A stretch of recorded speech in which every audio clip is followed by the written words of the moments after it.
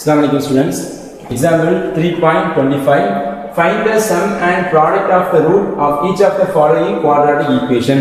So ஒரு quadratic equation கொடுத்து என்ன கேட்டிருக்காங்க sum of root and product of root கேட்டிருக்காங்க அப்போ என்ன நம்ம ஜென்ரல் ஃபார்முலாவோட ஃபர்ஸ்ட் நான் கம்பேர் பண்ண போறேன் ஸோ என்ன compare to compare to ax square square plus ஒரு b x plus c equal to zero இதுக்கு நீங்க கம்பேர் பண்ணீங்கன்னா ஏ உடைய ஆன்சர் வந்து எக்ஸ் ஸ்கொயருக்கு முன்னாடி உள்ளது அப்போ 1 அண்ட் b உடைய ஆன்சர் பார்த்தீங்கன்னா எக்ஸுக்கு முன்னாடி உள்ளது எயிட்டின் அண்ட் c உடைய ஆன்சர் பார்த்தீங்கன்னா மைனஸ் சிக்ஸ்டி ஃபைவ் நமக்கு வரும். ஸோ நமக்கு தேவையான sum of root equal formula minus b by a equal to minus eight divide by a உடைய ஆன்சர் ஒன்று அப்படின்னா ஒன்று இருக்குன்னு அவசியம் தான் ஆன்சர் மட்டும் மைனஸ் எயிட் வரும்.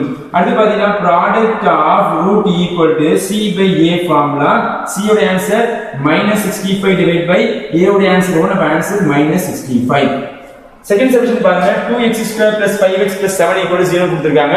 So compare to ax square plus bx plus c equal to 0 இதுக்கு கம்பேர் பண்ணா ஏவுடைய ஆன்சர் எக்ஸ் ஸ்கொயர் என்ன உள்ளது டூ போடுங்க.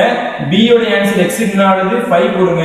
C உடைய ஆன்சர் என்ன? 7 போட்டுங்க இப்போ அடுத்து நமக்கு என்ன வேணும் sum of root sum of root equal to formula minus b by a equal to minus of b உடைய answer five divide by a உடைய ஆன்சர் டூ சரிங்களா? அடுத்து product of root equal formula c by a equal to so c உடைய answer seven divide by a உடைய answer two இது நமக்கு தேவையான result அடுத்து சப்ஜெக்ட் த்ரீ பாத்தீங்கன்னா சோ இது நமக்கு இந்த k into x square minus k square x minus two k cube equal zero கொடுத்துருக்காங்க. நம்ம என்ன பண்றோம் sum of sum and product of கண்டுபிடிக்க போறோம் சோ இப்போ ஃபர்ஸ்ட் நான் கம்பேர் பண்றேன்.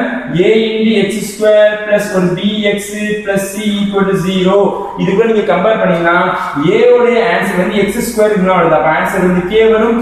b உடைய ஆன்சர் வந்து எக்ஸ் முன்னாடி மைனஸ் கே ஸ்கொயர் இந்த மைனஸ் ரொம்ப முக்கியம் மைனஸ் கே ஸ்கொயர் போடணும்.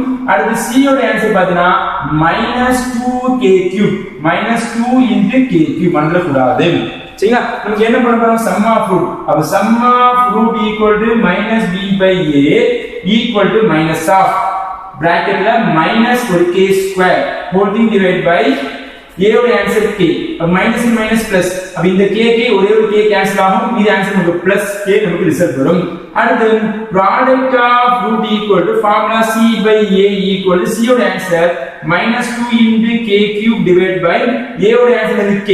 அப்ப இந்த k கியூப் எப்படி எழுதலாம் பாத்தீங்கன்னா மைனஸ் டூ இன்டு கே வந்து த்ரீ டைம்ஸ் மல்டிபிகேஷன் பண்ணலாம். K into k into k whole thing divided by k. So k k get cancel அப்ப இந்த கே கே நீங்க ப்ராடக்ட் பண்ணீங்கன்னா k square answer minus two into k square இது நமக்கு தேவையான result